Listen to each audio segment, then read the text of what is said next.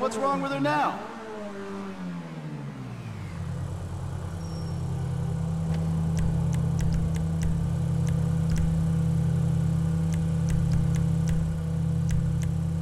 If that car was a woman, I'd guess her.